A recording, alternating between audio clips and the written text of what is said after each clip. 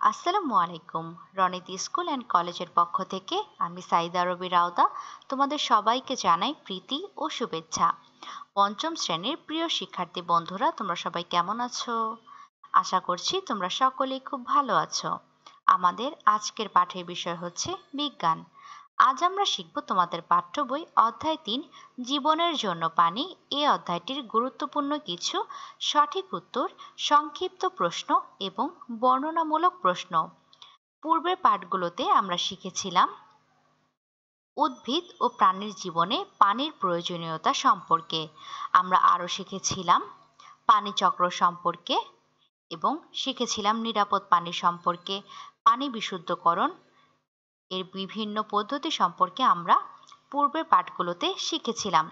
আজ আমরা এই অধ্যায়টির অনুশীলনের কিছু সঠিক উত্তর, সংক্ষিপ্ত প্রশ্ন এবং বর্ণনামূলক প্রশ্নগুলো পড়ব ও শিখব। তাহলে চলো বন্ধুরা, আমরা মূল পাঠে প্রবেশ করি। প্রথমে আমরা সঠিক উত্তরগুলো দেখে নিই। এক, উদ্ভিদের পুষ্টি শোষণের জন্য কোনটি প্রয়োজন? ক, পানি, খ, মাটি, গ আলো, ঘ, বায়ু। বলো তো বন্ধুরা, এখানে সঠিক উত্তরটি কোনটি? উদ্ভিদের পুষ্টি শোষণের জন্য কোনটি প্রয়োজন? হ্যাঁ। ক, পানি। এবার আমরা দ্বিতীয় প্রশ্নটি দেখে নিই। কোনটি পানি দূষণের কারণ? ক, ধোয়া। খ, উচ্চ শব্দ। গ, ডায়রিয়া। ঘ, নর্দমার বর্জ্য। বলো তো বন্ধুরা, কোনটি? পানি দূষণের কারণ? হ্যাঁ ঘ, নর্দমার বর্জ্য। তিন, পানিতে মিশে থাকা বালি, কাদা ইত্যাদি সরানোর প্রক্রিয়াকে কি বলে? ক, ছাকন, খ, থিতানো, গ, ফুটানো, ঘ, ঘনীভবন। বলো তো বন্ধুরা, পানিতে মিশে থাকা বালি, কাদা ইত্যাদি সরানোর প্রক্রিয়াকে কি বলা হয়? হ্যাঁ খ, তিতানো। এবার আমরা সংক্ষিপ্ত প্রশ্নগুলো পড়ি এবং এর উত্তরগুলো মুখে মুখে বলি। প্রথমে, এক, পানি চক্র কি?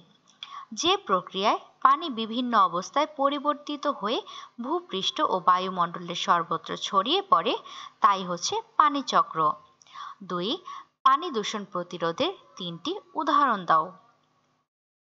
পানি দূষণ প্রতিরোধের তিনটি উদাহরণ হলো, প্রথমে, কৃষিতে কীটনাশক এবং রাসায়নিক সারের ব্যবহার কমানো, দ্বিতীয়ত, রান্নাঘরে নিষ্কাশন নালায় ও টয়লেটে রাসায়নিক বর্জ্য এবং তেল না ফেলা, এবং তৃতীয়ত হচ্ছে, পুকুর, নদী, হ্রদ কিংবা সাগরে ময়লা আবর্জনা না ফেলা। এবার আমরা তিন নম্বর প্রশ্নটি দেখি, অনিরাপদ পানি থেকে নিরাপদ পানি পাওয়ার চারটি উপায় লেখো।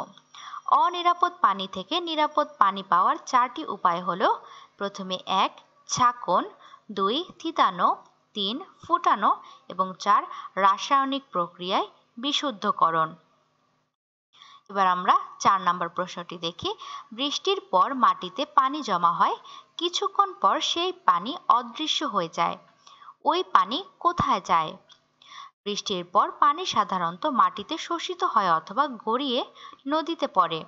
মাটিতে শোষিত পানি ভূগর্ভস্থ পানি হিসেবে জমা হয়। সর্বশেষ প্রশ্ন, পানির তিনটি অবস্থা কি কি? পানির তিনটি অবস্থা হলো বরফ, পানি ও জলীয় বাষ্প। এবার আমরা বর্ণনামূলক প্রশ্নগুলো পড়ি এবং এ সম্পর্কে জ্ঞান লাভ করি। প্রথমেই প্রথম প্রশ্নটি লক্ষ্য করি বরফ সহ পানি গ্লাসের বাইরের অংশ কেন ভিজে যায় তা ব্যাখ্যা করো। গ্লাসে বরফ রাখলে গ্লাসটি ঠান্ডা হয়, এতে গ্লাসের বাইরের জলীয় বাষ্প ঠান্ডা হয়, ফলে জলীয় বাষ্প পানিতে পরিণত হয়। এভাবে জলীয় বাষ্প গ্লাসের গায়ে পানি হিসেবে জমা হয়, ফলে বরফসহ পানি গ্লাসের বাইরের পৃষ্ঠ ভিজে যায়। দ্বিতীয় প্রশ্নটি দেখি পানি চক্র ব্যাখ্যা করো। যে প্রক্রিয়ায় বিভিন্ন অবস্থার পরিবর্তন হয়, ভূপৃষ্ঠ ও বায়ুমণ্ডলের সর্বত্র পানি ছড়িয়ে পড়ে, তাই হচ্ছে পানিচক্র এই চক্রের মাধ্যমে সর্বদাই পানির অবস্থার পরিবর্তন হয়। সাগর ও নদীর পানি বাষ্পীভূত হয়ে জলীয় বাষ্পে পরিণত হয়। জলীয় বাষ্প উপরে উঠে ঠান্ডা ও ঘনীভূত হয়ে পানির বিন্দুতে পরিণত হয়।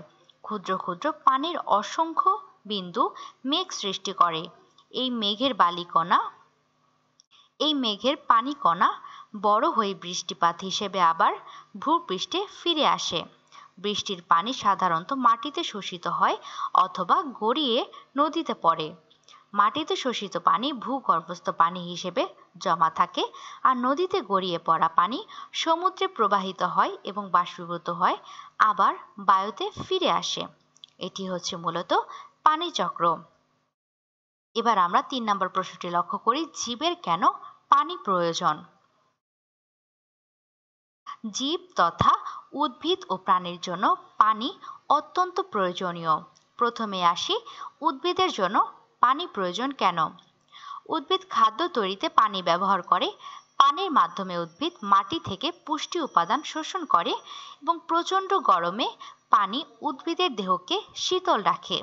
এবার আসি প্রাণীর জন্য পানি কেন প্রয়োজন? পানি দেহের বিভিন্ন অংশে পুষ্টি উপাদান পরিবহনে সাহায্য করে। পানি খাদ্য পরিপাকে সাহায্য করে এবং পানি দেহের তাপমাত্রাকে স্বাভাবিক রাখতে সাহায্য করে। তাই জীবের জন্য পানি প্রয়োজনীয়। এবার চার নম্বর প্রশ্নটি লক্ষ্য করি। বাতাসে পানি আছে তা আমরা কীভাবে ব্যাখ্যা করতে পারি? বাতাসে যে পানি আছে, তা আমরা একটি পরীক্ষার মাধ্যমে ব্যাখ্যা করতে পারি। পরীক্ষাটির জন্য প্রয়োজন একটি কাচের গ্লাস ও কয়েক টুকরো বরফ। পরীক্ষাটি শুরুতেই বরফের টুকরোগুলো আমরা গ্লাসে রাখি। কিছুক্ষণ পর গ্লাসের বাইরের দিকটি আমরা পর্যবেক্ষণ করি। দেখা যাবে গ্লাসের বাইরের গায়ে গ্লাসের বাইরে গায়ে বিন্দু বিন্দু পানি লেগে আছে। বরফের ঠান্ডার কারণে গ্লাসটি ঠান্ডা হয়েছে। গ্লাসের চারপাশের জলীয় বাষ্প এবং স্পর্শে ঘনীভূত হয়ে পানি বিন্দুতে পরিণত হয়েছে। এ থেকে বোঝা যায়, বাতাসে পানি আছে। এবার পাঁচ নম্বর প্রশ্নটি দেখি, পুকুরের পানি থেকে আমরা কীভাবে নিরাপদ পানি পেতে পারি? পুকুরের পানি থেকে নিরাপদ পানি পাওয়ার উপায়গুলো হলো, প্রথমে আমাদের কি করতে হবে? একটি কলস বা পাত্রে পুকুরের পানি নিতে হবে। কিছুক্ষণ পর রেখে দিতে হবে কিছুক্ষণ পর দেখা যাবে যে পানির পাত্রের তলায় তলানি জমেছে এবং উপরের অংশের পানি পরিষ্কার হয়েছে। এরপর এই পানি ২০ মিনিটের বেশি সময় ধরে ফুটাতে হবে। ফোটানোর পর এই পানি ছেঁকে নিলে আমরা জীবাণুমুক্ত নিরাপদ পানি পেতে পারি।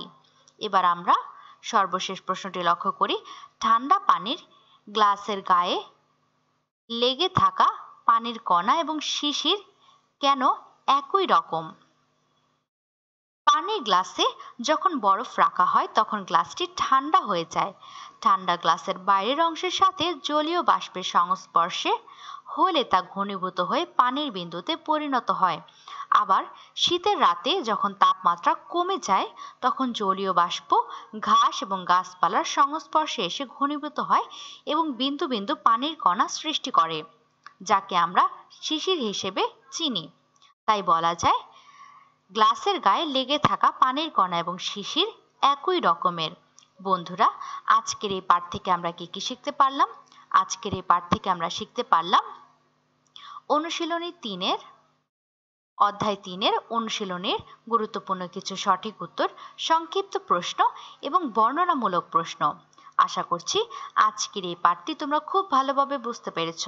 আজকের এই পাঠটি তোমরা বাসায় বেশি বেশি করে অনুশীলন করবে। দেখা হবে পরবর্তী ক্লাসে নতুন কোনো পাঠ নিয়ে। সেই পর্যন্ত সবাই ভালো থেকো, সুস্থ থেকো। আসসালামু আলাইকুম। আল্লাহ হাফিজ।